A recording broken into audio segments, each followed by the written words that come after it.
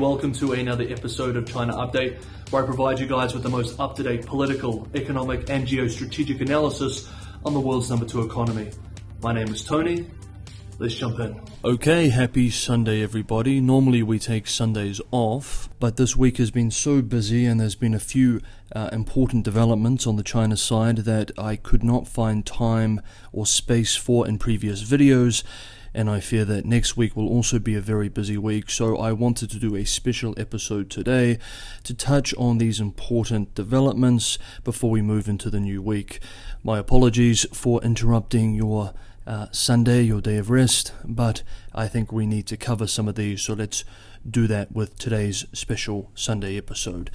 On Friday, China's massive chip making company, Semiconductor Manufacturing International Corp, through an exchange filing announced plans to invest 7.5 billion US dollars to build a 12-inch wafer production line in Tianjin, a major port city an hour or so from Beijing by high-speed rail.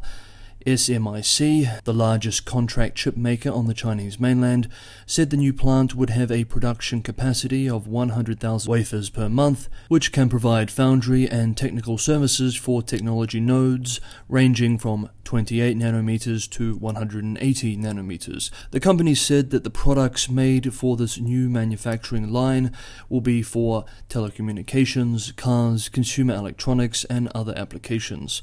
The plant will be built and operated in cooperation with a local state owned enterprise, as well as two local government authorities, which will provide subsidized land, infrastructure, and other subsidies.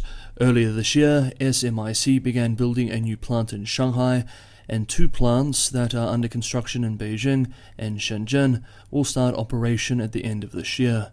Strong global demand for advanced chips, as well as more basic chips, used in everything from smartphones to new energy vehicles to fighter jets, has exploded in recent years albeit with signs of cooling now this year, and chipmakers have been scrambling to take this new market space. And of course, we know too that semiconductors are a critical advanced technology which are increasingly taking center stage in US China competition. Indeed, one of the reasons for greater chip manufacturing capacity needs in the mainland is concerns of fresh US trade sanctions. We remember that two weeks ago, Washington based Bureau of Industry and Securities started to enforce new export controls covering technologies for the production of advanced semiconductors on grounds of national security. And this month, US President Joe Biden signed into law the CHIPS and Science Act, committing tens of billions of federal dollars to US chip manufacturing.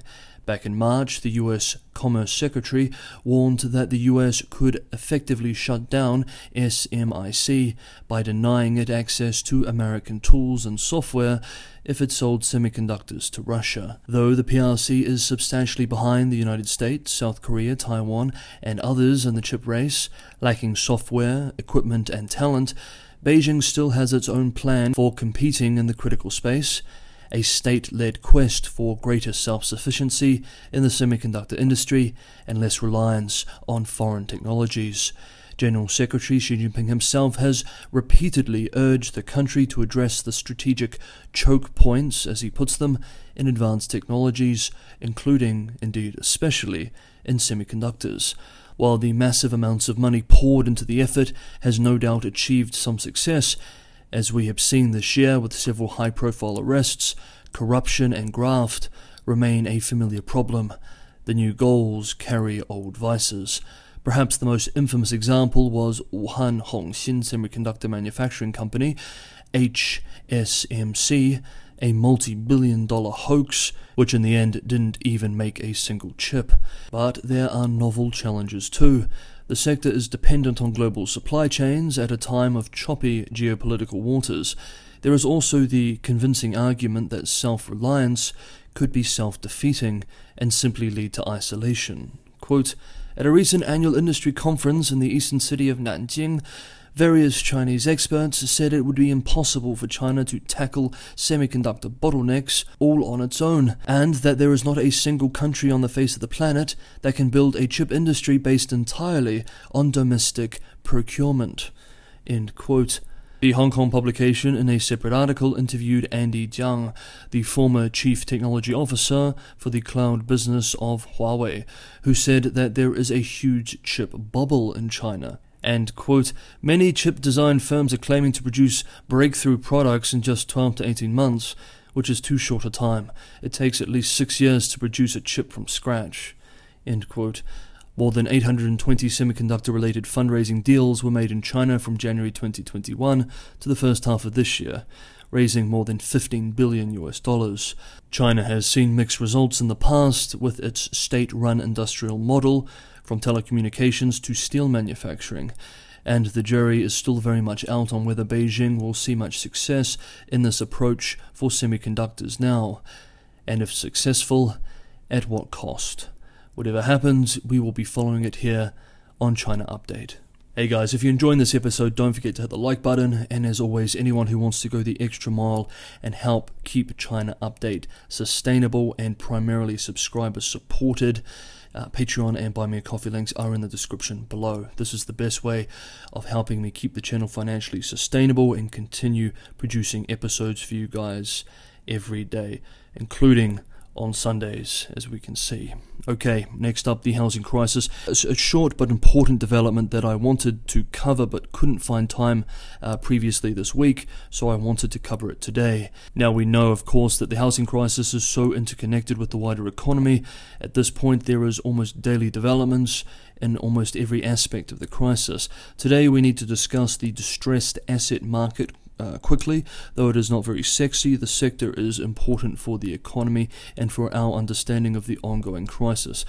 UK based Japanese owned Financial Times writes over the weekend that distressed asset managers in China's private sector are struggling to profit from the country's slowing economy. Quote, with no bottom in sight for its collapsing property sector and lenders reluctant to write off bad loans.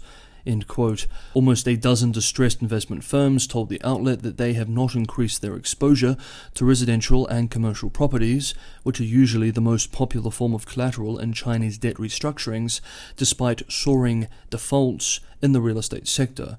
One executive specializing in trading bad loans expressed, quote, A lot of us are standing by, not knowing where to spend our money. End quote. And the managing director of Orient Capital Partners in Hong Kong said that distressed asset management only works when you think there is going to be a mark to market pricing and a cyclical improvement. But, quote, if you don't have adequate pricing and you have a structural downturn that could go on for another decade, then there is no way you can sell your assets. End quote. The mortgage boycott movement is a real wild card with all this, too.